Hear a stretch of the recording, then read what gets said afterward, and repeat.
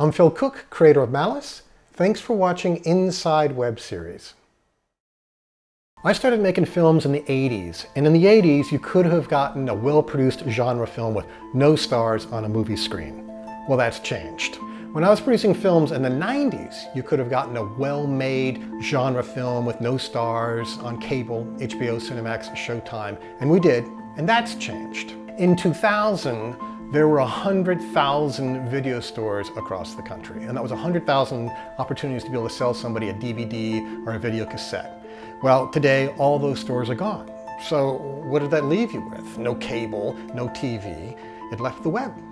so we got into the web producing business.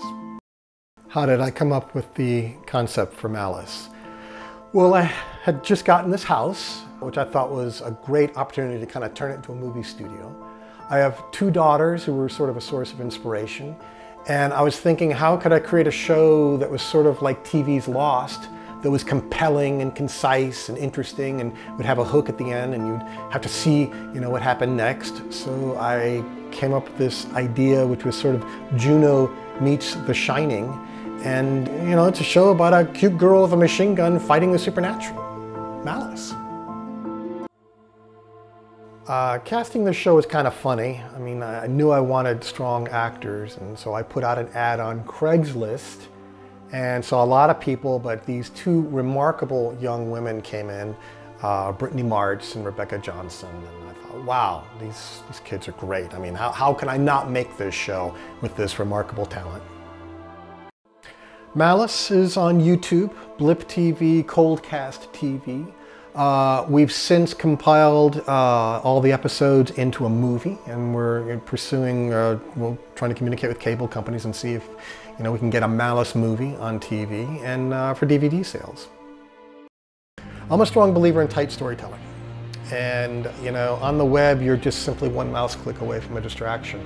So, uh, you know, I don't have a moment of slack in my show. I think I have to work twice as hard as TV uh, just to keep people involved and engaged.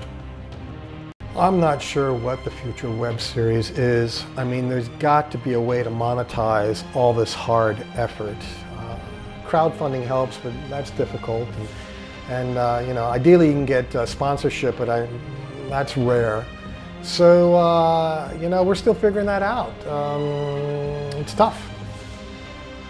I come from a visual effects background, so that was, you know, a great tool to expand the look of this show. Uh, you know, my house is actually not set in rural Virginia. It's surrounded by houses. So, so there's a lot of invisible effects in the show. Um, you know, where I had to remove houses and vehicles and things to, you know, make it look a little more remote. I mean, there are some obvious effects, you know, that you look at and go, yeah, it's, it's a little over the top. But, uh, you know, it was a great way to expand the scope of this show, to give it a, you know, a much more sophisticated veneer of production value.